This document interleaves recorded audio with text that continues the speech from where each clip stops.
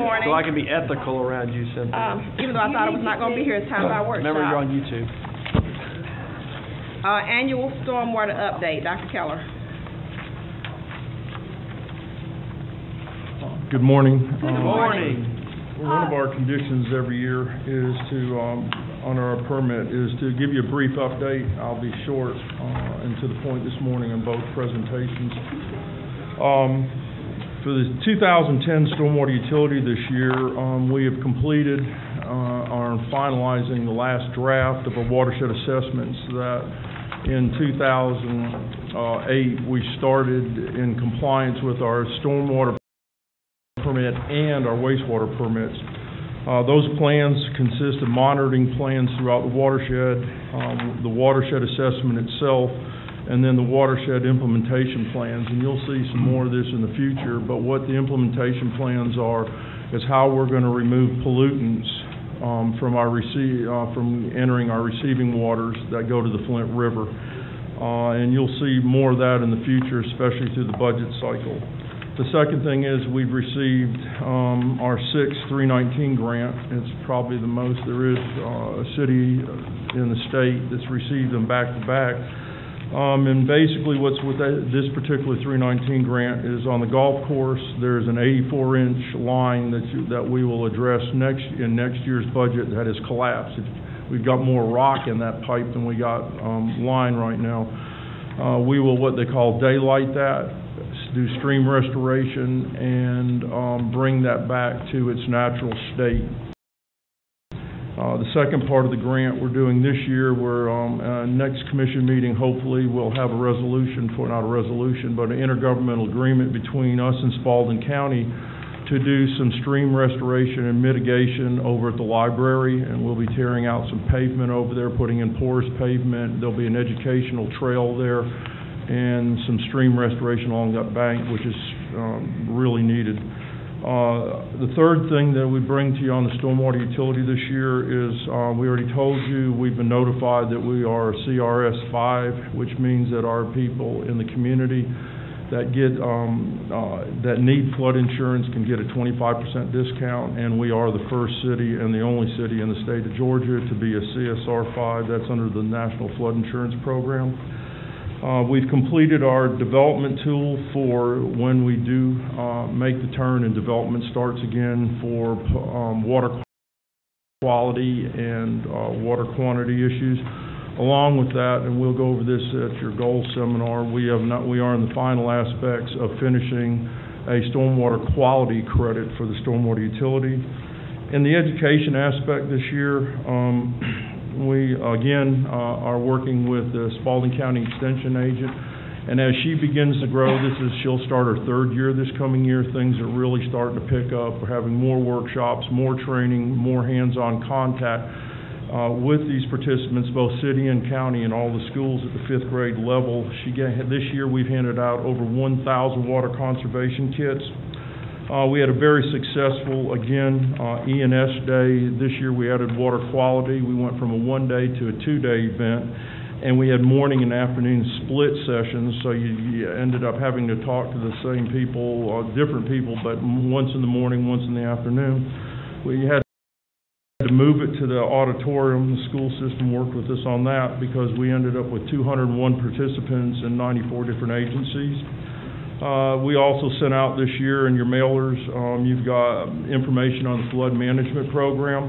And we also sent out just recently our pet waste management um, program. As you know, we adopted an ordinance on that earlier this year.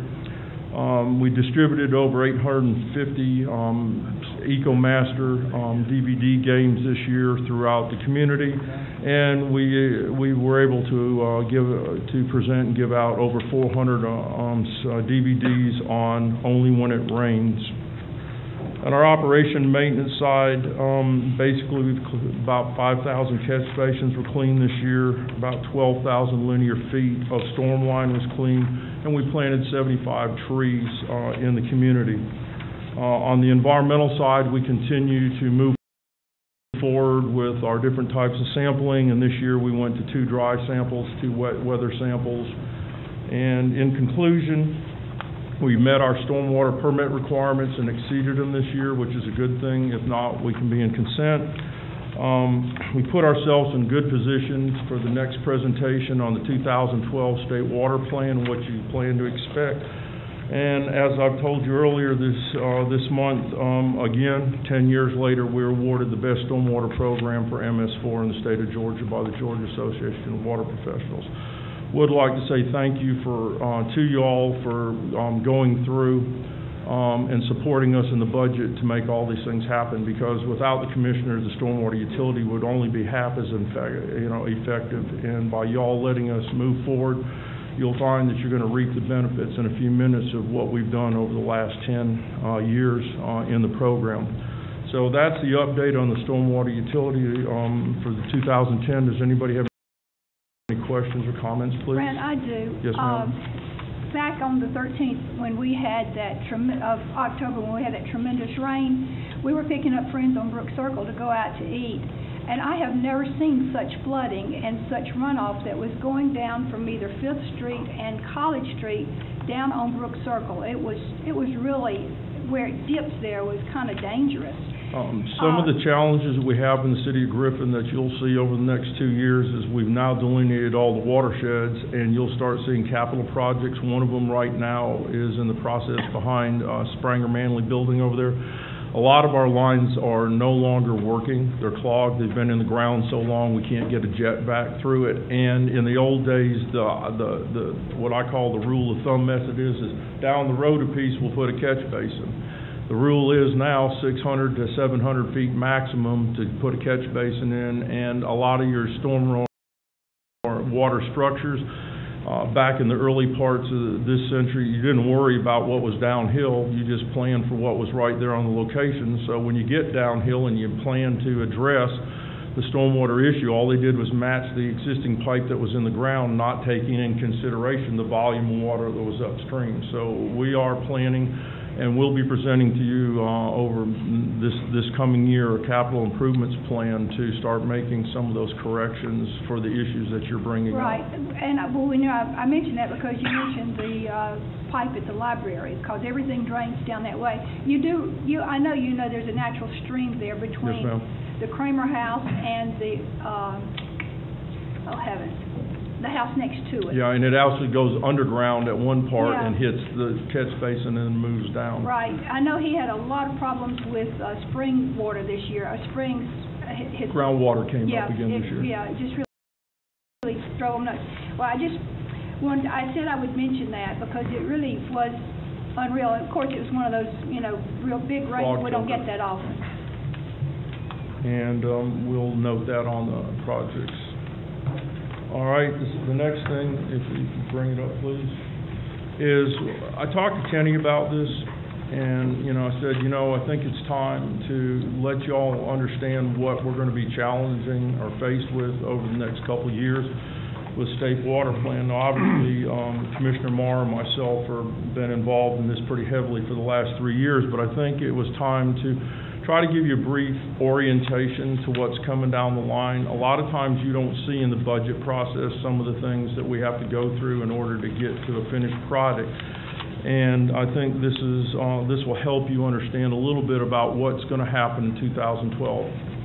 Uh, three years ago, the, the, the state legislature said we're gonna have a state water plan, that it need to be implemented in 2012. So we're gonna go, and there's a water conservation implementation plan that went into place uh, a year ago, and then how does this interface with stormwater permitting? And I know this is probably dry for some of y'all, but I'll try to make it as interesting as possible and try to give you a brief overview.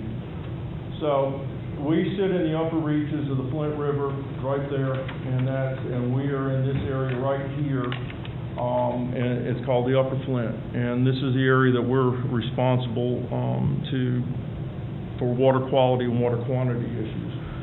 Um, we get, from time to time, we get regular correspondence. This is a piece of correspondence telling us basically what to expect out of the water plan. And in the water plan, there's four tiers. And in those four tiers, basically, they, they require, uh, water conservation practices. And a lot of communities, older communities aren't used to seeing these. Um, they're starting to see 'em more and more. The first tier says it's gonna be required already and, and by, either through statute or amended rules. Tier two, and you, just following along, it basically says you're gonna go through certain metrics. Tier three, we're gonna get, we're gonna go into these in a minute, and then tier four. Tier four has to do the state water plan and a thing called the gap and what's not downstream and how we're gonna get water, more water downstream as we start looking at the process through an analytic and, I guess, regression analysis of the entire basin. Tier one, so, a lot of this stuff we're doing because we're very fortunate that we've been, put we positioned ourselves in the community and in the state to be one of the more environmentally friendly folks, and that we do have a, uh, very good water system, uh, and wastewater collection system from an operations standpoint. Always can be better, though. Um, we wanna, we had, what they're gonna require us to do, and it's more paperwork and more time, and they haven't said an engineer's gotta do it, so it looks like I'm gonna get the chance to do it, so that'll save us some money. We gotta submit an annual report, um, we're gonna have to do a loss detection program, uh, multi-tenant buildings. This is some of the reason I wanted to educate y'all today. Um, when we start building back again, it, there's gonna be a lot of requirements for water conservation, and some of those metrics are, and, and the state's gonna take care of that, because in two thousand twelve, you won't be able to buy a toilet anymore that has one point five gallons or more flush. So basically, your toilets are gonna go to point two, uh, eight gallons per flush. Urinals, which a lot of y'all don't use, but in public buildings, are gonna have to be a, a flush, um, of less than a half a gallon or at a half a gallon. Your laboratory sinks will be one and a half gallons, your kitchen sink will be at two oh gallons.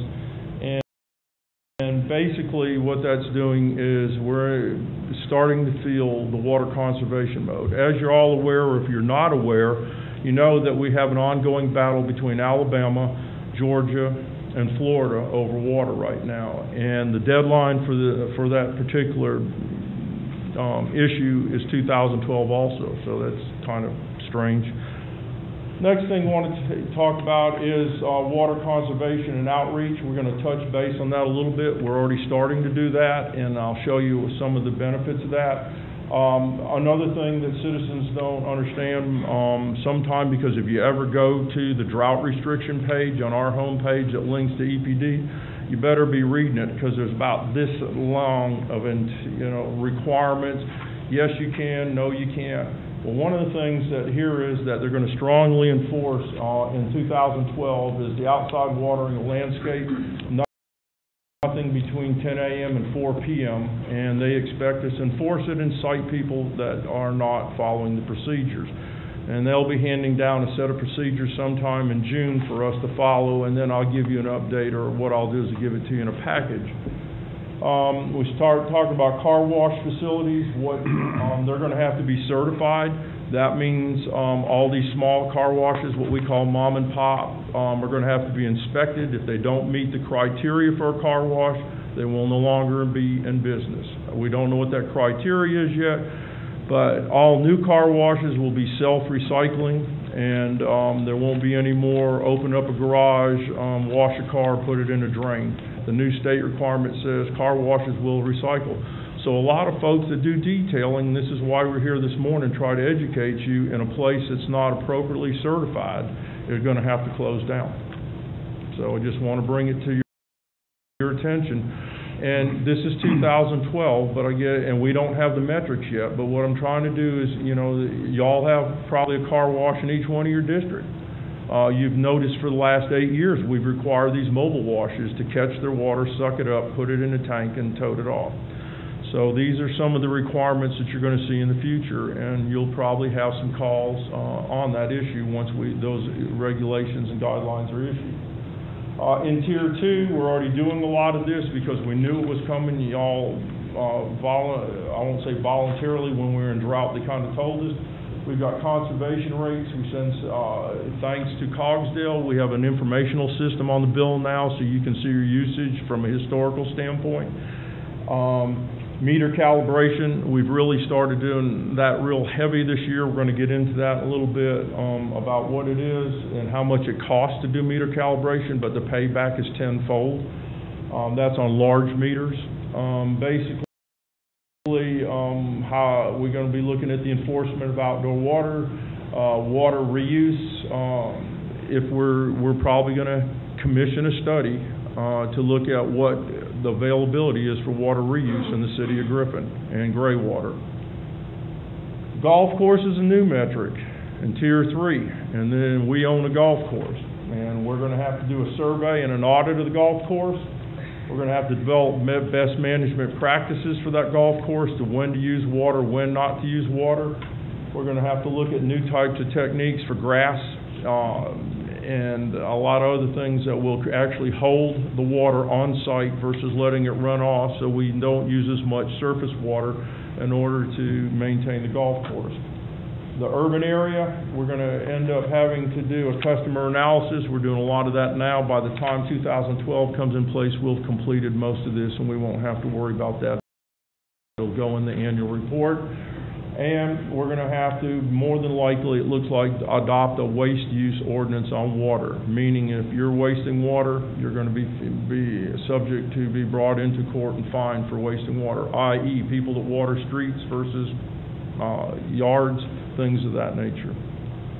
Moving along in tier four, leak detection, we'll get into that a minute. Uh, y'all have this in your package, so I'm not gonna belabor this point and it just continues on, but basically, you're gonna all, and we require most of this now, we'll just have to update our ordinance a little bit. When you put in an irrigation system in your yard, you're gonna have to have a rain sensor and a monitor and all those fancy things, and the green industry's loving that because they're gearing up to sell that, those, that equipment.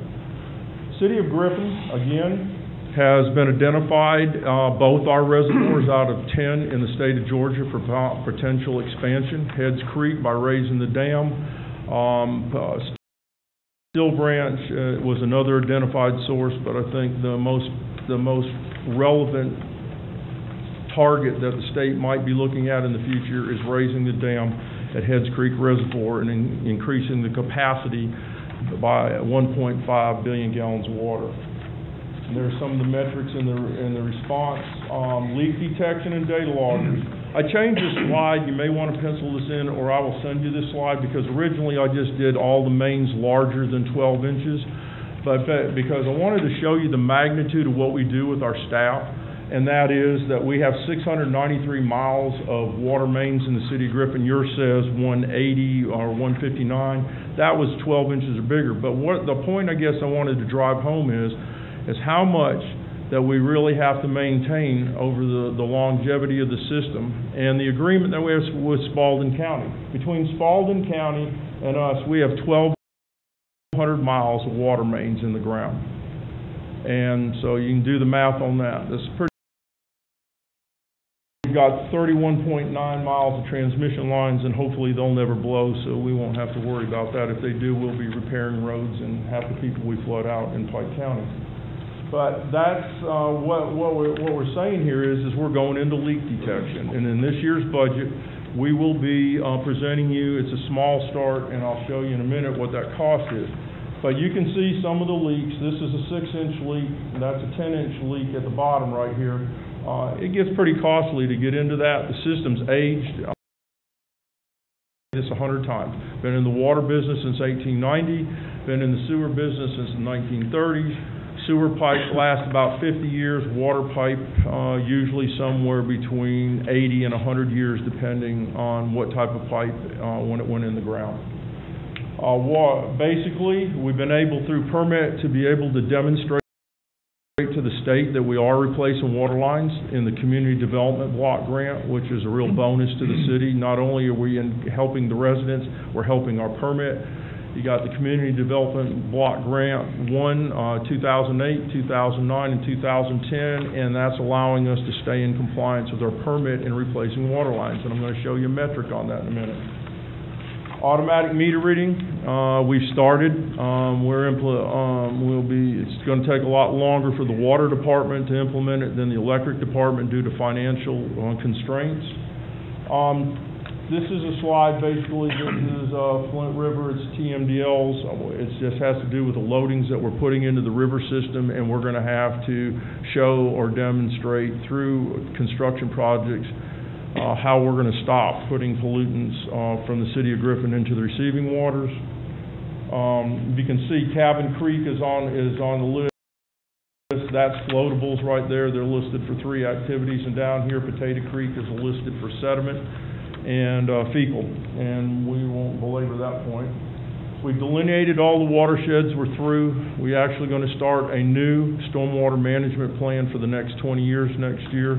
Um, And then we'll have a capital improvements plan to go with it. It's been 10 years, and we'll have guidelines to where we're going to go in the future, so that when we turn our permit into the state, they know that we know what direction we're heading.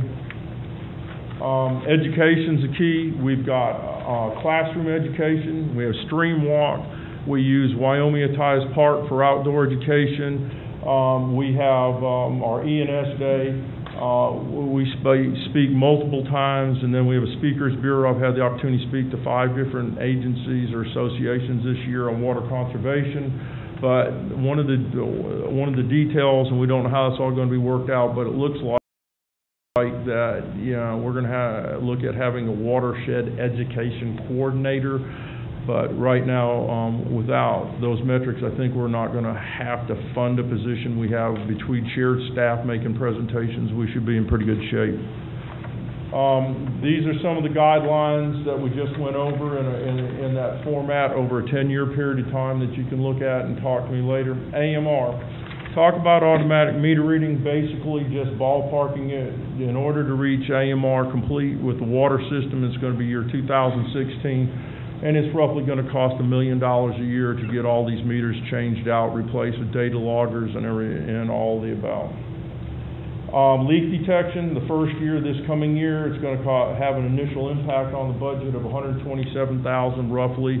And once all the equipment's purchased, then it's a cyclic thing, but then after that, it'll run about ninety thousand dollars a year. If you're not familiar with leak detection, you're gonna see somebody with a headset, fancy computers, and a van. And he's gonna look like a spaceman out there putting these little devices on water, on fire hydrants, and he's gonna track down the leaks between hydrants, and then we gotta go in and repair them. Um, water main replacement, this is just a little bit of information, eighty years on the average pipe, you can see how much pipe we have. Industry standards basically say we've got about forty percent pre-nineteen thirty in the ground. That's about twenty, two hundred and seventy-seven miles of pipe that should have been replaced by now. Average cost is hundred dollars a foot. Industry says you should replace one and a half percent of your pipe every year, and you've heard this before in my presentations. Bottom line is, is basically you're looking at two point one million dollars a year that we should be doing to replace water lines. And if you read enough journals and the, and the GMA magazine, when you hear of what they call the infrastructure gap, this is what they're talking about. This is a gap between your budget and what needs to be repaired. Um, basically, this is the last slide. These some of the mandates that we have that you can see on a reoccurring basis. Um, our education and outreach costs us about fifty thousand dollars a year. TMDL mitigation is about a quarter million dollars a year. Incentive programs, we haven't developed yet, and that'll be about twenty-five thousand dollars a year for an average cost of about two hundred eighty thousand dollars a year in the budget that will be reflected. And I didn't want to take up more than fifteen minutes, and I uh, think I got there. How many cities in Georgia now are, have stormwater utilities? Um, right now, there's forty-two cities that have stormwater utilities, and there's, uh, I think there's thirteen more looking to implement utilities. And Spalding County still does not have a stormwater utility? They have a stormwater program, but not a utility, no ma'am. So they're, they're not getting any money in Spalding County to replace or to handle stormwater? Uh, no ma'am. And, and now that we're talking about water, I remind you one thing, that, that also on the water permit, they have their own, uh, drinking water permit also. All right, how is this gonna be enforced fairly? If you have so few cities in Georgia doing a stormwater utility and, uh, and counties? The answer to that is, is that you go through permit. Uh, Spalding County is a NPDES phase MS four permitting agency. They have certain requirements. And basically, if you don't meet the requirements of the permit, each year they kick it up a notch, I guess this is for no, for lack of better words, and if you don't meet the, the limits of your permit, then you go under consent, and then Right, you but, but cities that don't have it are not required to do anything about it? They will be. Therefore, They- they're they not will being be. charged a million dollars and all We that don't, type we of don't know stuff. what the plan, the plan looks like right now, uh, as far as what the, how the permits are gonna come out. And, and remind you one thing, state plan's one thing. What, what is, there's two things that is very interesting in the process of my work, uh, and Phil's. Every December, the DNR board meets and writes rules. Those rules have consequences, and usually those rules fall back on us. I'll give you a good example. We're supposed to have a Category 1 dam inspection annually by EPD. We just recently received a letter from them stating that they are understaffed and undermanned, and that they will only visit once every two years, but you will inspect your dam annually.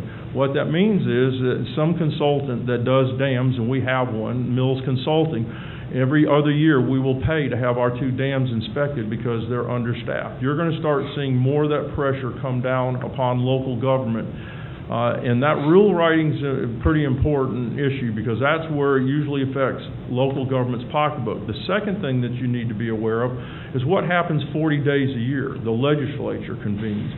They throw forty-five thousand types of pieces of legislation up there. Last year and the year before was a very dangerous situation that had that legislation passed and it become statute, it would have cost us immediately around fifteen million dollars, and that's piping water back to the basin which Cabin Creek and about twenty-five percent of our water goes to the Ocmulgee River, but it's all originated out of the Flint River. Had that piece of legislation passed, Kenny and I'd be sitting here scratching our heads trying to tell you that we're gonna have to put in an elaborate pump station, expand Shoal Creek immediately to take that, and then do a point source discharge back to the Flint River. And, uh, we will get into that during the budget cycle this year to, and we are completing right now for your presentation, should have it sometime December, probably come back to you in January, the final draft of the water management plan for the next twenty years and the wastewater management for the next twenty years. And in that plan, it'll have the two capital improvement plans, um, for our facilities. I need to add a little bit to this, if you'll bear with me a minute. On this state water plan we've been working on for two years, and I've spent goodness knows how many hours on. The gap in the upper Flint now is virtually zero. We have no gap. We have no excess water, we have no, or virtually no gap problem. However, the lower Flint has a thirteen percent gap. They're not meeting their water uh, outflow thirteen percent of the time. We were required by this water planning rule to go out to twenty fifty. So at twenty fifty, we're projecting no gap. So we're not having a gap in forty years of growth. And the reason is, all of these conservation and management practices are coming in, being phased in, because right now, we're using virtually all the Flint River and the upper Flint that there is to use, and there's no more to use without creating this gap, they call it. So all this stuff will be in, so fifty or forty years down the road, there won't be a gap, and it's gonna get tougher and tougher and tougher. We have that draft water plan online at Georgia Water Plan, and, uh, it's in rough form. We're trying to finalize it to submit it by the end of the year. But the lower Flint is thirteen percent in gap already, so the farmers down there are gonna be facing a lot more increased rules and regs and permit problems.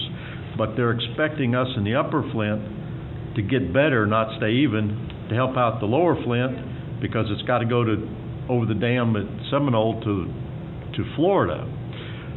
And I will say that our stormwater, that's the quantity part, the quality part's even tougher, but our stormwater is so far ahead of everybody else's in the state, they're gonna be spending and paying out the yin-yang to catch up with where we are. Uh, they got huge expenses because this water plan and quality is gonna mandate they do all this stuff. And, uh, they're, they haven't been doing it, so we're ahead of the game. And the education's a big part of it. One of the mandatory, uh, parts of our plan is education to bring the, and it's gonna be a really serious, uh, mandate, which Brant's already been doing. So our stormwater plan, our utility is way ahead of most of the state. But then we're gonna face things like leak detection, and the state's saying that systems, even ours is down to what now, about, what's the latest? 13? Anywhere from fifteen to eighteen, depends on the. They're, they're saying those numbers of leaks are, are unacceptable, and you're gonna fix them, because they want that water back in the Flint. Uh, Thomaston just sold a multi-million dollar bond package to replace water pipes. They're replacing huge chunks of their water pipes in downtown Thomaston, and they're out on the bond market with millions of dollars. We don't have the banding, the bonding capacity probably to do that, but this leak detection thing is gonna be really expensive, because EPD is gonna say you can't have that many leaks. Well, what's gonna happen is because you have so few participants right now, everything's gonna get pushed back, which is unfortunate. Uh, it's a plan, which, plain and simple, and we're complying, and that's the main thing that we're doing because we're taking care of ourselves. The problem is going to be in the implementation all, all over the state of Georgia, and, uh, so, you know, it's, if it follows the usual pattern, they'll keep pushing it back, pushing it back. What did you say? They've already gone back on dams, uh, every two years because of manpower, uh, Yeah, but they put the loss. responsibility On on Yeah, us. they put it back on us, exactly. I- I- Uh, I the, tell you, I the- think that, The you know, gun we're under, though, is the federal judge in this water usage, so the state has itself in a corner. Well, that, I, I agree with the state. I think that because we are ahead of the game, that we're not under any gun right now. Well, y'all can't divorce yourself from the fact too, unfortunately, that whether we like it or not, the Flint is part of the Chattahoochee at one point. So what happens on the Chattahoochee is gonna get mirrored over on the Flint and vice versa. The one positive thing note, so I'm shut up and sit down so y'all move on, is that since we went to Cogsdale, we've been able to get better data on what's going on uh, in our system. And one of the good things is, is that I can tell you that at, one time, per capita means per two point six people in the home, okay? The average person was using eighty-eight gallons of water. We've been able to take a look between conservation rates, which really work, which is bad for business, loss of revenue, and we're gonna meet one of those goals. Today, I did the, the average for the last ten months, and inside the city of Griffin, we've gone from eighty-eight gallons per capita to sixty-six, and that's a pretty good metric. And if we hit around fifty-eight in the future, we shouldn't have a struggle and put a lot of burden on the residents of the community to have to do severe retrofits and what have you. Now, we're gonna present some incentive programs to move forward, but between conservation rates, the drought, and better reporting systems, and that's what this is all about. Every time you hear us talking about we want another computer module or whatever, it allows us to better understand what we're doing, and thanks for listening this morning. Doc- Thank you, Doc. Dr. Keller, in regards to Spalding County and their system, um, at what point do we need to master meter the lines going out of the city of Griffin so we better understand whether our water loss is mainly coming from the city side or coming from the county Um, side? we know those, this year, we did that when we did our, uh, we have a master ma- a metering schedule currently in hand that would tell us where those points are and what happens from that point. Right now, basically, we use the law of averages, that we know what the population base is residentially, because that's where your leaks are gonna be, and we know we're both in the city and county, and it's divided up that way, and that information is provided to the county. They're fifty percent, basically, they're fifty-six percent of the total sum of water loss in the system due to the, the number of customers they have and the miles of lines they have. But that's an estimate, that's not a, a sure thing. Well, it's as Because you probably don't- good as you're gonna get when you've got a fragmented system. In nineteen eighty-eight, the foresight should have been a whole lot better than it is now, but that's what we gotta deal with. But we do have in hand what it would take to master meter our system versus the counties. But if you master meter, you know exactly how much water is being Yeah. consumed For four in the million city dollars, I versus- can, I can master meter. That's what it costs. It's, it's three point nine million dollars. If I, if I invest three point nine million, I can master meter the entire city of Griffin and reroute a couple lines because you gotta look at how it draws back. And we, but we have that plan. We did that in January this year and we have that information. The, the rub here, and Brent hasn't really foot stomped this, but we are literally, this water plan gonna be mandating less and less water use, less and less water sales. So our revenue sales are gonna be going down and down. At the same time, the state keeps ramping up things we're gonna have to do. So this puts us in, in a declining revenue and increasing cost Well, the best, the best thing that happened right now is that the IDA land a couple customers in the industrial park over there so we could sell some water. Right, that would really be nice. The, of course, you know, when all of this starts, there needs to be a lot of, uh, of pulling in Georgia legislators for presentations so that they will be educated. They created this mess. Oh, I know they did. I know they did. They almost created the last one, last session. So it's, uh, you know, but we'll need to do that. But anytime that y'all want more data, like Ms. Todd, if you want to come in, or anybody that's interested, just come by, and I'll be glad to show you some other information. There will be on. exceptions for fish ponds and swimming pools. Not exceptions, but there will be guidelines. I'm, not- at this point in the ponds, game, yes. it's all, it's all on the table for EPD and statute to, to Thank take care of. Thank you all. Good job. Okay. That's it, we'll move to the, um, agenda. Yeah. You're not gonna be here? I will be. Can you? Okay, on our regular agenda tonight, we will have our engineering firm, Jacobs Engineering, come in and give us an update on the presentations of where they are on our comprehensive transportation plan. And, uh, you have some information in your packet, and they'll be here to review this information and answer any questions you may have as to the status of that plan. Anybody have any questions on that?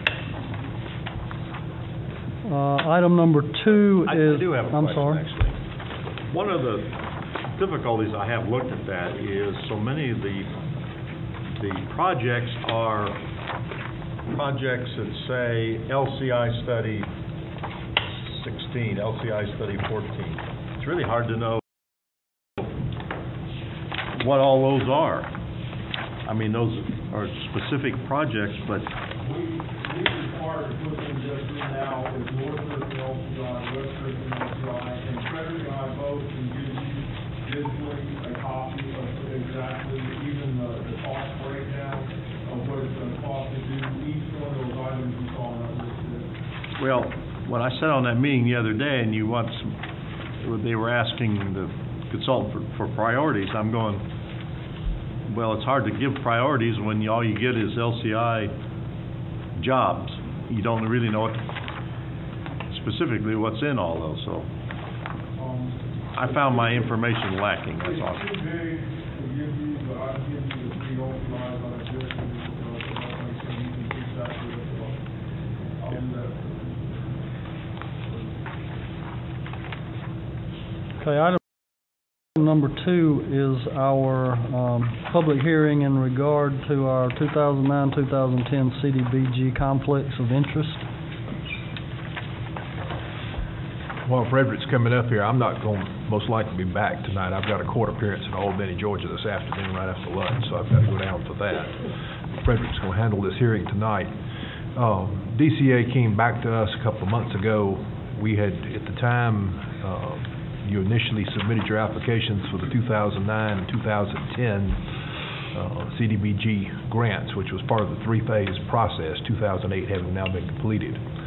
Uh, In 2009, Cynthia and uh, Doug had properties in the target area. In 2010, uh, Will Evans and and Doug had properties in the target area. And they came back to us and said that HUD had audited them and that they wanted more public input as to uh, the effect of having commissioners who had owned proj- uh, properties that were affected by the project in these areas. So they wanted us to re-advertise. That's why we're holding a hearing. We advertise this uh, once a week for two weeks over the last two-week period. Uh, We're going to ask tonight, Frederick's got it, we got a summary we prepared, if you look right under your public hearings tab, and and Cynthia, let me ask, are you going to be here tonight? You- You're not, that's what I thought.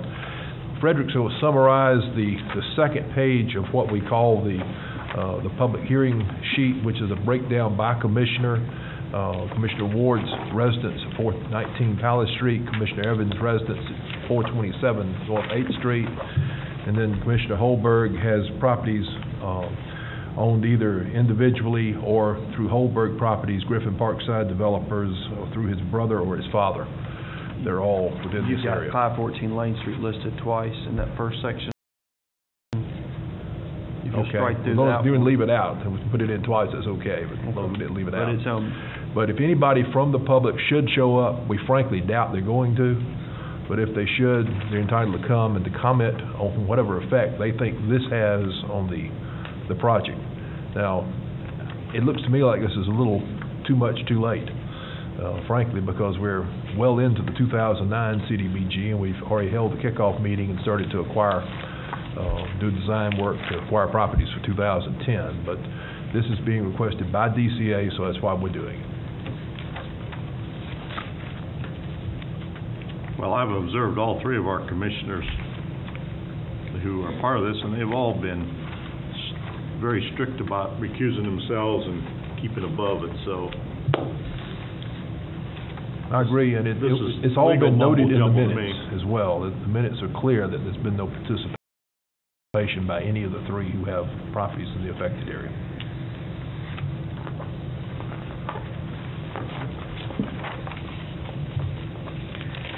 Any questions about that? Somewhat overkill, but that's what DCA is asking for, and rather than put us in jeopardy with them and future grant possibilities, we felt like we better overkill. Well, it's, ethically, it's probably the correct thing to do. Uh, I, I mean, I, I haven't really followed that, but, uh, poor Doug's gonna have a hard time all over the city if we had CBD friends. But all these properties were addressed to Frederick through each, I mean, we've, we've given a list for each zone. I think there's been Yes, appropriate through the whole disclosure time we've throughout the always process. disclosed I, I think the real key to it is they didn't feel like there was enough public notice of the fact of disclosure. Right. That's what they're looking for, is more, more notice, and I think now we've given them that. Okay, while Mr. Gardner's up, he has, uh, several other public hearings in regard to special use and rezoning, so I'll let him cover those. Thank you, sir. No, thank you. Good morning, Commissioners. Good morning. Uh, We have a rezoning request uh, at 319 West Tinsley Street, uh, project number 10 RZ03. The applicant, uh, Renana uh, Youssef, is seeking to rezone a property located at 319 West Tinsley consisting of .25 plus or minus acres from medium-density residential to neighborhood business district. Uh, The request is to develop the site for a new daycare center uh, that will provide uh, service for a working-class minority community within walking distance of their homes. Uh, Staff and the Planning and Zoning Board had reviewed the application at their meeting and had recommended downzoning the request uh, below the neighborhood business district to institutional. And that would assist with hopefully not allowing for the adjacent property, which is the convenience store, having the opportunity to come in and, and rezone, even though it's a non-conforming use at this time. Uh, staff had recommended denial of the request. The Planning and Zoning Board recommended approval of the request from MDR to institution. Uh, and with that, staff would recommend three conditions. And the three conditions are that one, all buildings shall be constructed of brick, stone, stucco, hardy board, or any combination thereof. Vinyl siding is prohibited. All new buildings shall be residential and designed to be approved by planning and zoning staff. And number three, there shall be no pole sign placed on the property. Applicant shall install a monument sign not more than six feet in height and thirty-two square feet in area. And, I have, you know, I have a number of thoughts and questions. yes, sir. Um, I think couple, three of us sat in the P and Z meeting and heard this. Uh, I think it's a worthy project, but the convoluted reasoning to get us from NDB to institutional bothered me. Uh, I think it ought to be NDB if that's what it is next door. But the applicant stated he wants to bring some trailers, some of those rental office trailers like they use at schools for overflow, there to do this, so they could do it inexpensively for this. And I know the city would freak out over that, plus these conditions prohibit that, so what he really wants to do, he can't do probably with these conditions. And I can't imagine sitting trailers there to make it happen, that wouldn't be proper. So, um, I'm trying to figure out where. I don't know. So I'm, I'm kinda curious what Cynthia thinks up there, this is, I'm, I'm trying to figure out exactly where it is. Find a little convenience store there on Ninth Street. so, Is that Ninth Street or? Oh, oh, that's where they have my property at. Yes, it's Where on they- where they shooting, Uh-huh. That's uh-huh. Tinsley Street, isn't it? That's Yeah. not Ninth Street. West Tinsley, West Tinsley. North Ninth. It's right Yeah, behind the okay, triple, uh-huh. right behind the AAA grocery store. The Oh. vacant parcel behind the AAA grocery store Uh, on the corner. the reality is, it's zoned residential, but no, nobody's gonna build a house behind that, uh, convenience store like that. It needs to be NDB added to that, in my opinion. But this, this convolutes a lot of things here, so, And for further, co- I don't, I Yes, don't ma'am. probably wanna bring in trailers in there. well, Right, for- that, we wouldn't agree to that, but I don't have a problem otherwise. I mean, I think that a daycare may be sufficient in that area where people can walk to it. And, and that was, that was noted by staff, and one of the issues that, that they had with the planning zoning board, and we had with the discussion of going to the neighborhood business district, the sup, the Super Eight, the tri- uh, Triple A grocery store is a non-conforming use, it's still residential. Uh, the issue that they had was that, and the same issue we had on South, uh, on North Sixth Street, was the issue of con- rezoning them to a commercial zoning. And under the interpretation of the city attorney, neighborhood business district is a commercial use, just like PCD, and would allow for sales of alcohol. So with that, I think the reasoning was, if it's allow, if, if we can find another zoning district that would allow for it outside of the neighborhood business district, and with that, the institutional zoning was one that we see was better suited to allow for the daycare use. Um, and then that would avoid any, any potential of the adjacent property coming in for rezoning to a neighborhood business district with the opportunity to sell alcohol in the neighborhood. know, I'm gonna say it again, this, this convoluted system of, in certain areas, you can't have commercial zoning, where in other areas you can have because of the alcohol issue, is just creating a huge discrepancy and unfairness in our, if you're gonna have a commercial zoning and have a convenience store, it ought to be the same, no matter what color the neighborhood is, or what direction, or what Well, geography, or anything else. This is ridiculous. Does he have a permit to sell alcohol down there? Uh, not that I know of. Under the, under the zoning, he wouldn't be allowed to be, he had to have a commercial zoning. Because we stuck him in residential zoning, which is bizarre. Well, he built in residential zoning. Well, it was We really already- stick It- with It's. I think it's That building been, it was was built there. a very long time ago. Oh, yeah, a long time, a long time. And that, ci- and that citywide rezoning messed up all kinds of properties that weren't what they were, and I got stuck with several of those. Had to come back and rezone to what it was used for. And planning and zoning board member, Mr. Castile, actually, his business is right Mhm. in Yeah. proximity here, and he, he actually mentioned that as part of the, his justification for this is that his property was caught up in the citywide rezoning back in the nineties that Yeah. rezoned him to residential, even though he has a manufacturing type use on his property. If they don't build on the institutional, would the institutional automatically go back to the No, it would not. No, it So would they not. change back, so there's no way to do a And, and last, conditional rezoning based on whether they build or not build? we could do that, uh, in terms of how legal it would be, that's something we probably wanna ask Mr. Whalen, but. No, you can't Yeah. conditionally rezone. Usually when you rezone a piece of property, you, you rezone that property, it goes with the property and not the owner. Uh, I'm familiar with that area, and, uh, my problem is the congestion and the traffic. I think it's unrealistic to believe that all those people in that area are gonna be walking their kids to a daycare center. Uh, most of them will be in automobiles, and I think that's, I think the congestion and the, and the safety, I think that's gonna be my biggest issue. Well, I think that Drew will agree with me, under state law, you can't deny zoning based on traffic. That is correct. It's illegal to deny zoning based on traffic. We're The not, presumption is the government furnishes the streets and transportation, and Can you deny it based on, upon safety of, the- of the, you can can look it be at, sa- denied based upon safety? you can look at safety as a factor, but we would actually have to look at if the safety issue is, is walking. Uh, we currently have sidewalks in and around that area, so there's pedestrian traffic, especially on Ninth Street, which is more heavily traveled, um, because it's a north, north-south corridor leading into the county than West Tinsley at this point. I think on this part of the West Tinsley corridor is where West Tinsley slows down and comes to a curve right as you come behind, um, the Eighth Street Baptist Church on Palace. That part, the roadway basically reduces itself, and so the potential for traffic conflict would be on Ninth Street versus more so on Tinsley. If Well, I it's know- what is their, what alternatives would they have? If it's denied, it will stay It just be medium-density denied. residential now. And it's useless.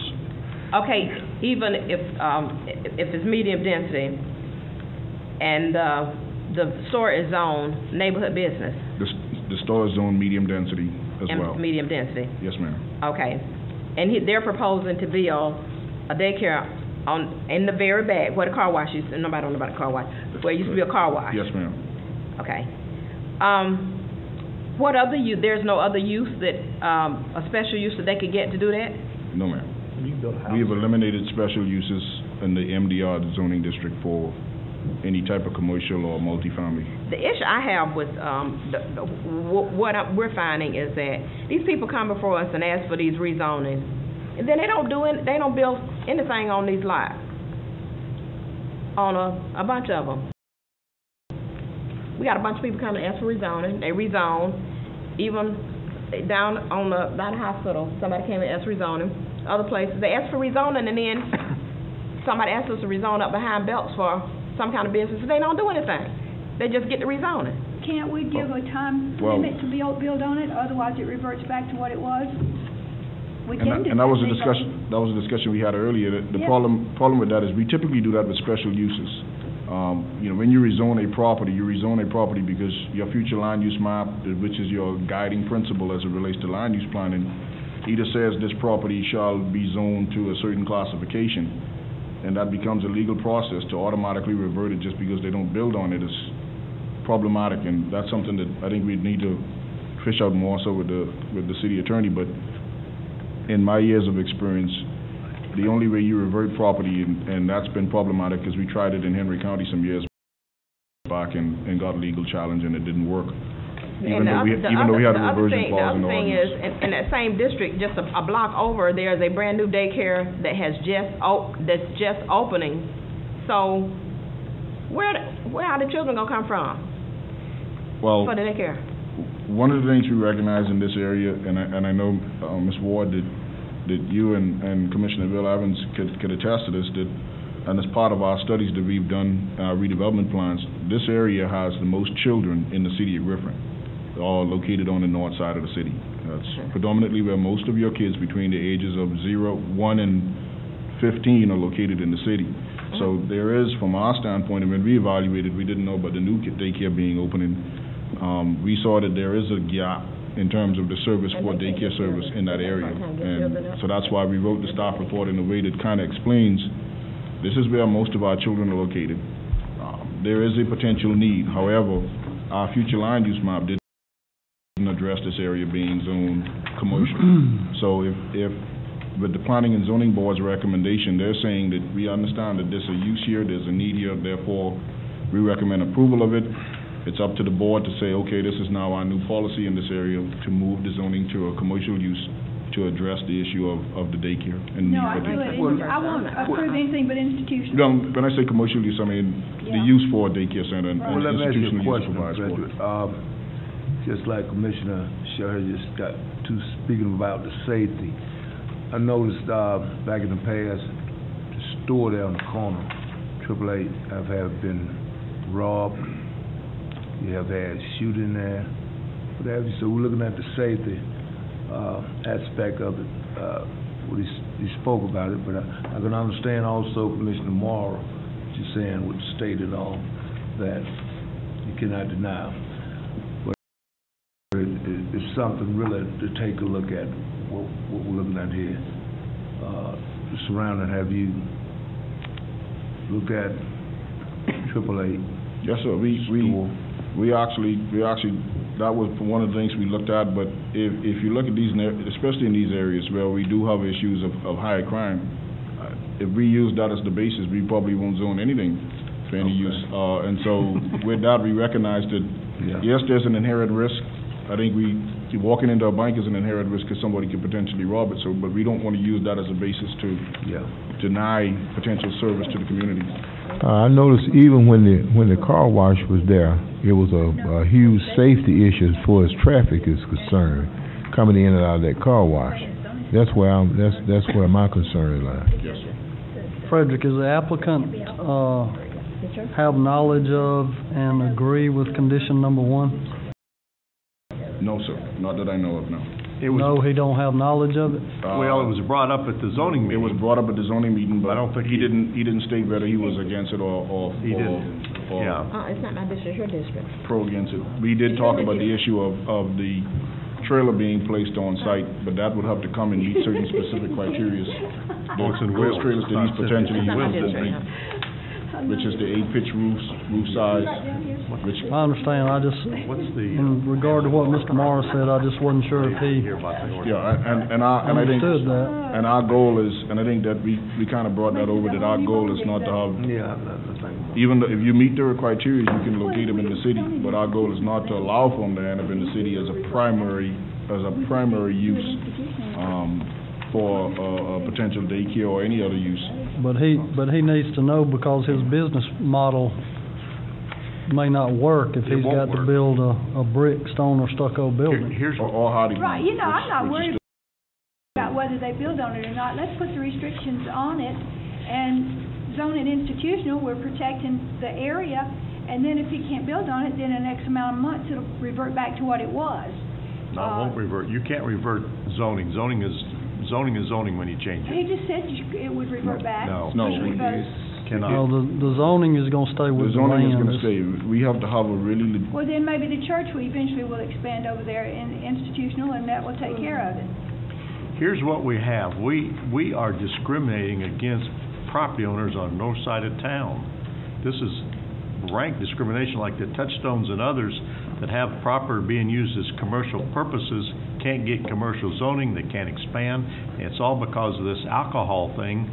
So I can't be part of discriminating against people on that side of town to use their property.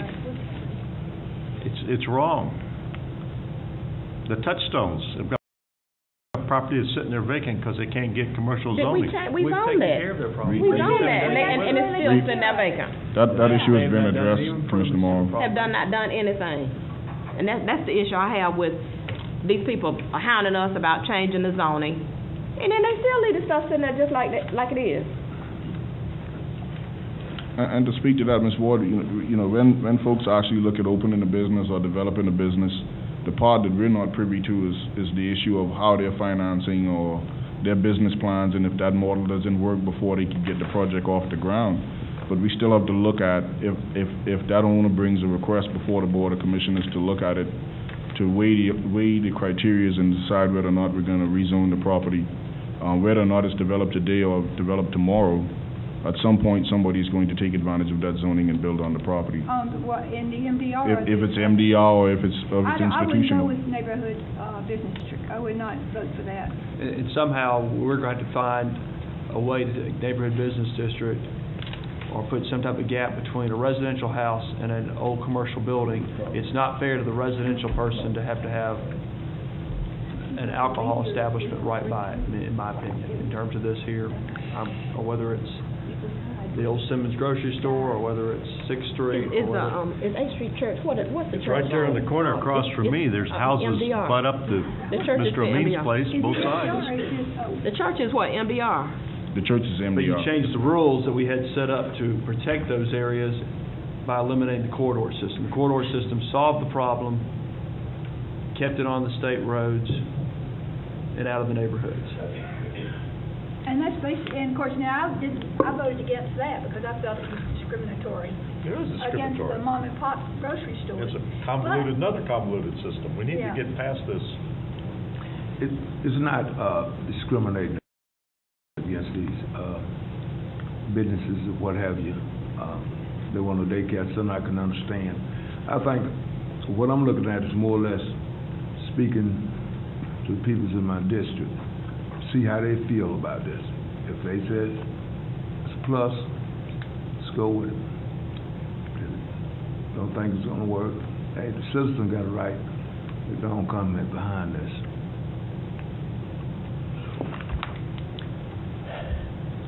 I, I'm curious as to what Mr.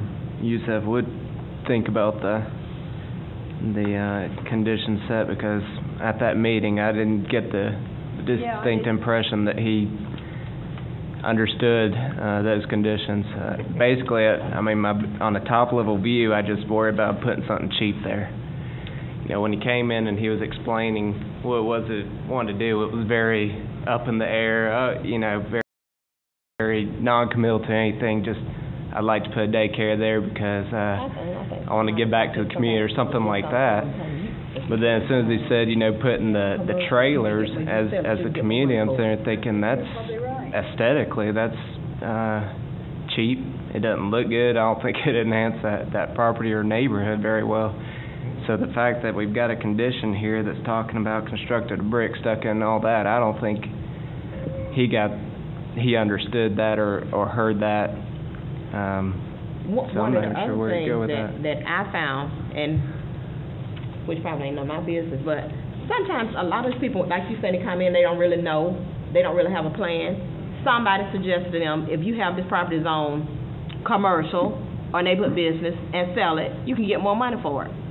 And I understand that's the nature of the business of, of trying to get what you can, but if he get it rezoned and sell it, you know, or not sell it. It's just a fact that you got a piece of property and you think because it's not zoned neighborhood business, you're gonna be able to get more money for it. We had several people come in to do that, and like I said, I don't have a problem with that, people making money. But the thing is, even if he builds, he's already talking about coming in and bringing trailers. Well, he We said don't we have won't trailers allow up that, there. we wouldn't allow that. No, The city doesn't allow that, does it? Not with this condition.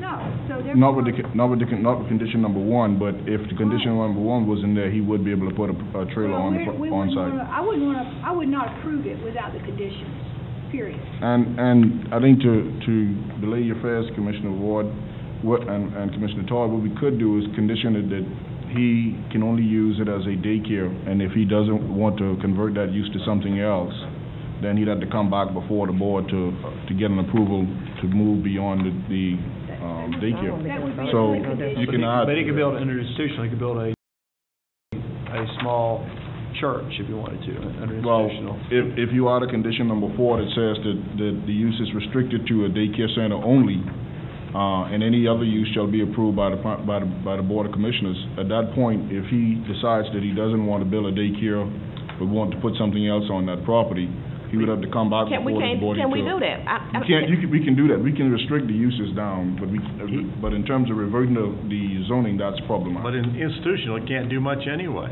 It is restricted, They there's a can, limit. the, the uses. institutional place thing down here on North Hill Street, they got big trucks coming in down there, backing in and stuff. It's institutional. The old Northside School, yes. it's on institutional. They, they got all kind of stuff going on there. Yeah, we turn our eyes on that. I don't know that that's still zoned institutional, is it? Yes, It it is is. It never got rezoned? No, it did not, the rezoning did not pass back, and I think before I got here, it went before the board. And I think it might have nobody been before- enforced before me institutional came. zoning? Well, it was institutional We because don't it was enforce school. law. Yeah. So we Well, never. how'd you put a manufacturing plant in an institutional zone? Is, is it a manufacturer? Yeah, and they got I trucks. think Somebody- I agree with somebody it was was asleep not- with a it was- switch. It was, it was not I agree with presented to us that. as manufacturer, as I recall.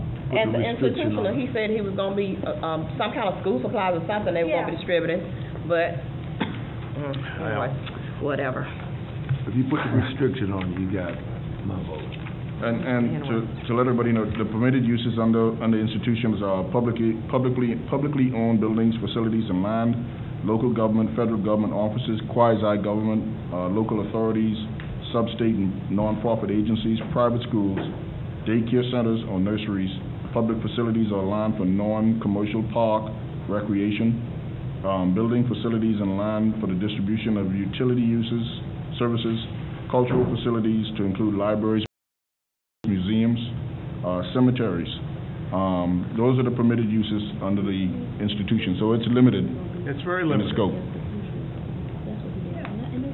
What if he wants to put an office there and rent it to, uh, McIntosh Trails or something? Have to come back before the board, commissioner. If, if you put, if you Yeah. limit the use, you would have to come back before the board in order to. Right. I I think that's crazy. Okay. All right.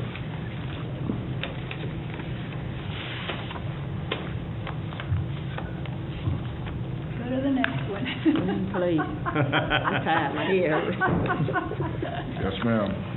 Uh, item, item number four on the agenda is, uh, special use request for three fifty North Expressway.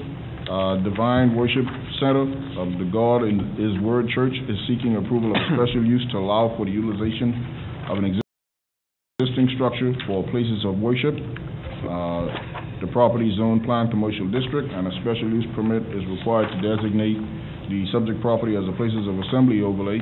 Uh, the purpose of the PAO, places of assembly overlay district, is to encourage the beneficial development of assembly uses to properly regulate such uses in a non-discriminatory manner. Uh, planning and zoning staff had recommended denial of this request based on the fact that the church, requested church and the property doesn't meet the specific outline in the PA ordinance as it relates to acreage and road frontage. Um, Planning and Zoning Board recommended approval of the request with two conditions. One, inspection to be conducted by a fire department for life safety and occupancy requirements. And two, the special use would be voided if the applicant vacates or abandons the use. All right. And for further clarification, the, the, the planning and zoning board wanted us, the staff, and I guess the board to look at this because we've been having numerous requests for churches locating in, in small convenience centers. And what we've seen to date as it relates to this is that, one, some of them don't open either from financial reasons after they've gotten the, their places of assembly overlay and they, and it's voided because we put conditions on them. Or two, they open, but they don't stay very long, they outgrow the spot, and then they're looking for a new location. Um, So, Well, it loses the uh, zoning then, don't it? we, yes, because we put that condition to void them as soon as they leave. Um, but because these are coming in on a, on, on a very frequent basis, uh, and, and the board has actually approved them, uh, it's something that the planning and zoning board want us to look at somehow amending our zoning ordinance to create these, to allow for these to go in, recognizing that for the most part, they're temporary uses when they're located in these, in these areas. Uh, they're not growing in those spots, um, taking up more and more commercial structure, uh, area. They're either outgrowing them or they're not opening at all, or they open, they recognize they can't survive, and they close.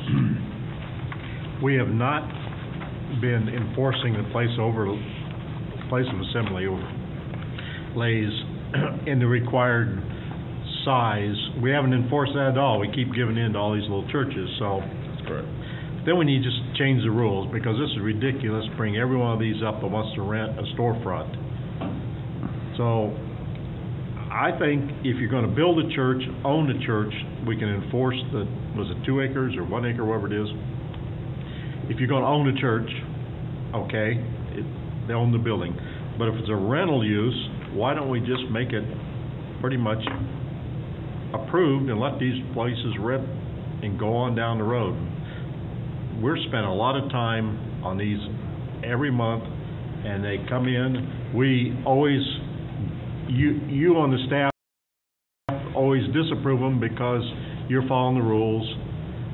P and Z almost always approves them because they understand what's going on. We vote to approve them and let them go down the road.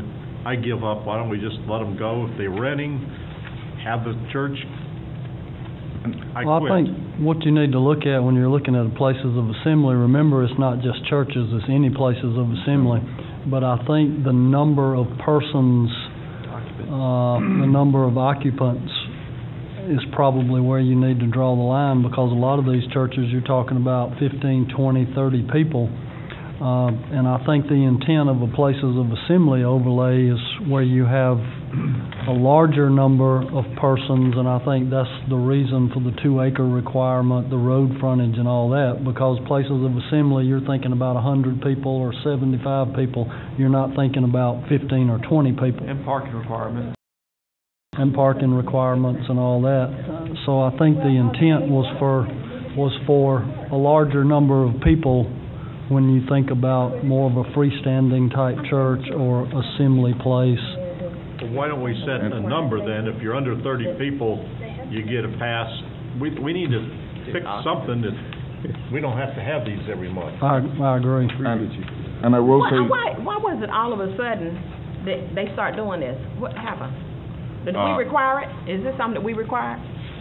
Did they go through this process? They don't have the money to go out and buy land Uh, uh, and- that- and build. for, apply for a pa- place of assembly overlay? Well, they want to open up a, ch- th- especially this specific one, wanted to open up a church, uh, and she's been looking at, for areas around, she'd actually looked at the old Walmart Shopping Center, um, and that was cost prohibitive, so she ended up still on the North Expressway corridor, but at a cheaper rate, was able to get a lease on the spot, and so she's now wanting to open up the church at this location. Uh-huh. The I'm places that we have approved, uh, have they been a nuisance, or are they, would you say have improved the area somewhat? Uh, Or I have was- we even cared? I would say neutral, we, we, there- I, like I said, we haven't had They any. used to just come and just any open up a calls. church. They just open up Then and all of a operate. sudden, everybody start coming asking for places of assembly overlay. I- I'm asking, is that something that we, we require that they do? Yes, ma'am, Okay. yes, that's Well, part of but our At ordinance. the meeting that night, she said that she's having thir- sometimes thirty-five to forty people to meet in her garage and in And- her living room. Mhm. And, And, and, and the neighbor, and the residential area, and if I lived in that area, that would really bug the bejesus out of me, because I don't want all that traffic. and, and, and and I'll say this, Commissioners, and I think the city attorney will speak to this, the reason why I think we adopted this ordinance is back in two thousand and, two thousand, uh, Congress passed a law called RLUIPA, the Freedom of Religious Land Use Act. And what that did was, because people were actually meeting in their residential homes and conducting churches and impacting neighborhoods, um, a city in filed an injunction against one of those uses, they filed suit and actually won in, in Supreme Court.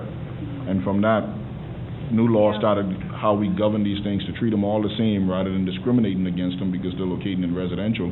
We came up with a provision that allowed for all types of assembly outside of certain residential areas. If they meet certain criteria, they're allowed to go in. If they're not, they can't just locate in somebody's house, have work ser- services there.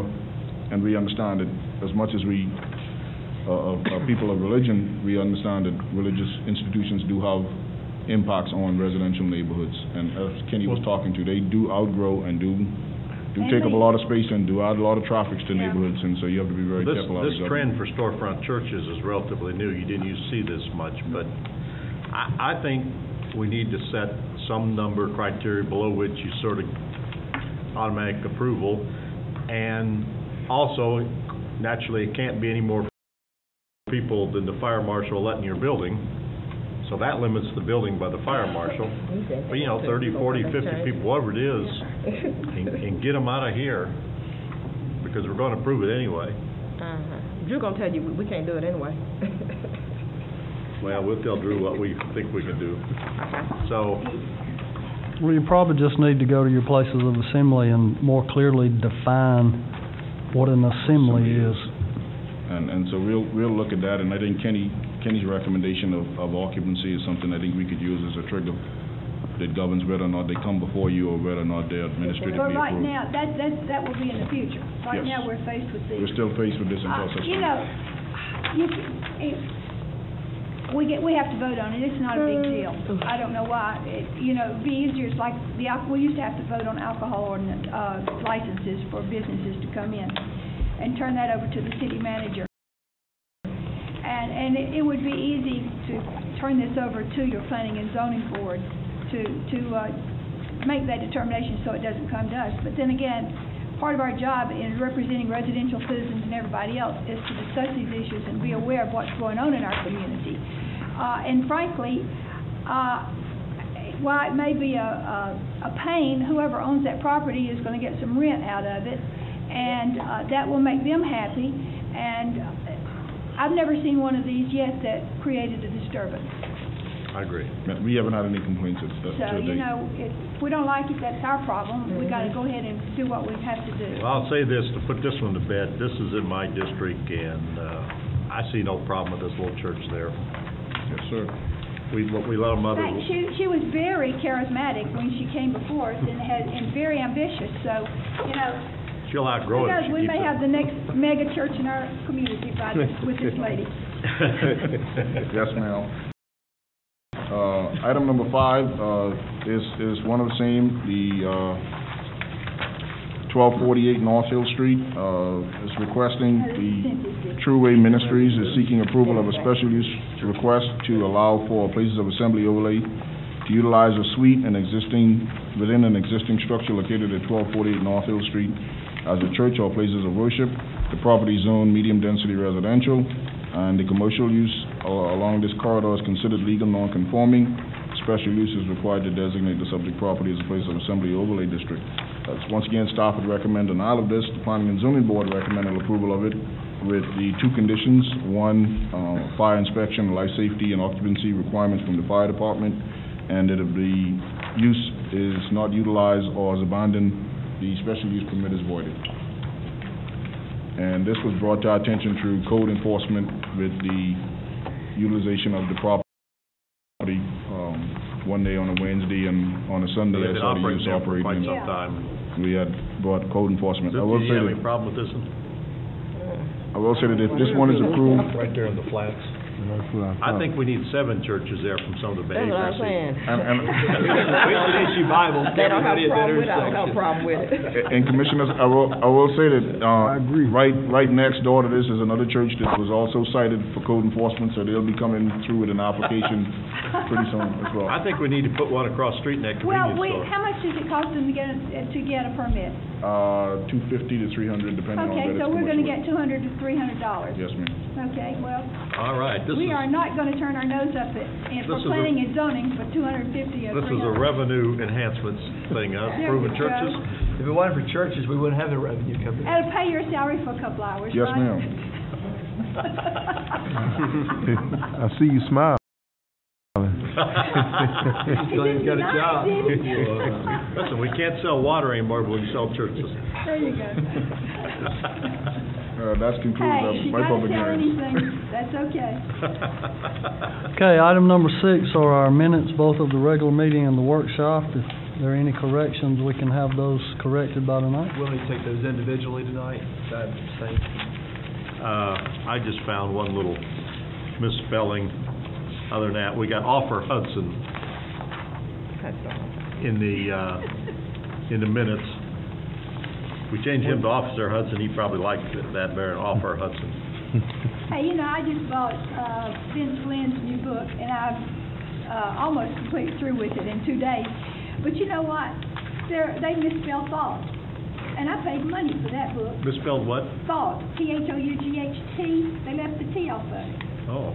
And that's probably page about three hundred and eighty-one, and so it irritated me no end, because I paid money for that book, and I wanted it not have any errors in it whatsoever. Well, I suggest we change that, that to Detective Hudson and Sergeant Mike, or, uh, Detect, I mean Sergeant Hudson and Detective Mike Morris. How's that? We can make that correction. Other than that, I found them okay. Can't we just do it on our page? Yeah, you don't need to print new ones if you don't want No, to. that's We'll, not. yeah, free. we'll just reprint, reprint the official document and make those corrections, if that's okay. Yeah. Okay, we'll skip down to item number ten, which is to update our ordinance in regard to water conservation and drought management is required by Senate Bill three seventy, as if you've not heard enough about that already. But, uh, we can entertain any questions. No, Big Brother mandated this, so.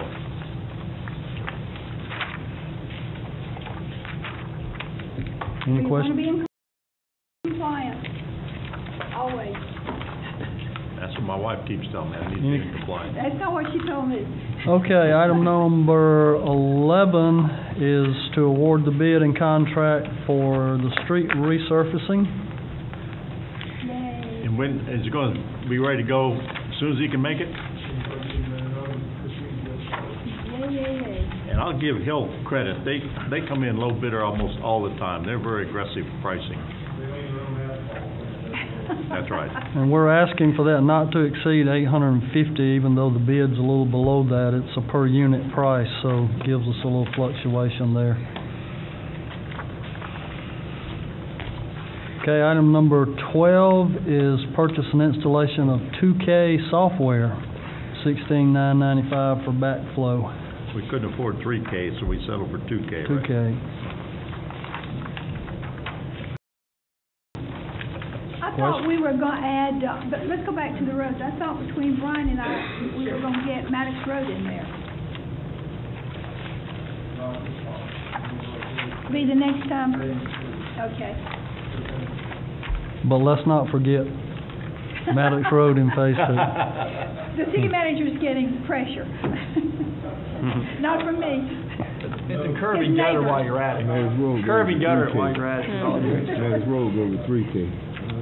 Hey, Doug, I'll be glad to see the sidewalk on Hill Street, going up to the pig. I hope the pig still there. when we check. Everything- Item number thirteen is approval of next year's holiday schedule, even though one of next year's holidays is in this year. But that's just kind of the way it fell. All right. Mr. Neville is here and he would love to address you if you have any questions. Right, why don't we add Veterans Day to this We can't holiday be- schedule? Uh, You know, I, that's, uh, becoming a revered day, and one that, uh, What? I was surprised that, because I know you're a veteran. What, what day? Oh, Veterans Day? Veterans Veterans Day, yeah. Day. Ah, The, uh, you know, We're used to getting shot at, what the heck? but I Well- just wondered why we don't. I, it, it seems to diminish it when only the federal government is the one that takes the holiday. It costs Staff would, money. I'm sure staff would be more than welcome to add holidays to the list. But, uh, from a Just budget, curious. from a budget standpoint, You don't, oh, that- Friday. it might be difficult okay. unless you wanna, No, no, no, I'm not, I Substitute- just was curious. No, I, I like every holiday that you got for them. Did they get to select them? ma'am? Did they get to select them or have input? Oh, no, ma'am, we just, it's the same holidays we've had every year forever and ever, so unless you wanna substitute one for Veterans Day. No, I mean, I, only if they suggested it. I would think about adding it. I think these are good. Okay? I'm guessing they would double the holidays if they could. Uh, The, uh, one that's interesting, that hadn't been challenged is Good Friday. yeah, we're one of the few places that, uh, still gets Good Friday. You can always substitute Good Friday for Veterans Day if you'd like. I'm not touching that one. He, he knows he'd be struck That's down Brand Daniel immediately. Easter egg, huh? No, I. Okay. Uh, yeah, that, yeah, no, I didn't, no, no, no. I just asked why we didn't. Yes, ma'am. You know. The, No, the I won't- answer I will is not. just because we haven't in the past, I but have, uh, there are a lot of places that do recognize I have a real aversion to lightning, I'm not touching that. You've challenged, you've, you've challenged him already enough, huh? Okay, item number fourteen is the annual request from UGA Griffin Campus for their seventeen-five that's budgeted. I like touching that one. That's, that brings in more people than anything we do, that's the most money we spend on Well, next we're fireworks. gonna get a request from Griffin Technical College to pay one of theirs too. Or Crescent, Southern Crescent, pardon me.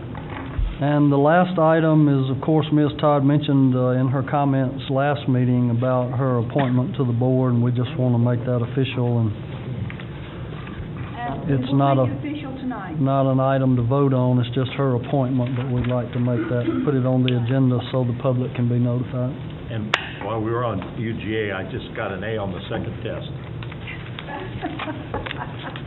You gonna make the dean's list? Has not, has nothing to do with the seventeen-five we're giving them, I'm sure. If it does, And my If it wife does, I'll graduates accept this it. month, so I'll be glad. Technically, then y'all might have a. Yeah, I need to abstain because my Both wife y'all might need to abstain from that. gonna get a degree and hopefully a job in January. Oh, Okay. you're not old fashioned? It's been a tough few years. I, I know. Is it? Is that it? We done? Uh, that's the entire agenda. And Okay. we're still planning to have our goals, or mini goals workshop in two weeks. is In that two correct? weeks, yes. May, may, I- may I ask something? Would this group be willing to discuss changing to a mayor system? Spend a few minutes on that. I don't have a problem with discussing anything y'all wanna discuss. I, I'd like to do that, talk about the advantages of changing to a mayor system, like other cities, so. We have a few minutes for that? Yes, sir. Thank you. The staff is basically gonna discuss what you guys wanna discuss. I mean, we, we don't really have an agenda. We're going to. I give you my items. Okay, we're going to go, ba- we're going to go back to our February workshop and update you on the things that you wanted us to look at back at the beginning of the year. Uh, so that's our only agenda is just to update you on those items and then get information from you. If you'd like to give me your items, I'll put that in the form of an agenda so the other commissioners can be thinking about and formulating discussion points. So we'll do that as a workshop. That's a good time to discuss. Yeah, Yes, ma'am, that morning in two weeks. Okay. We done? I am. Make a motion to adjourn, Madam Chairman. Second?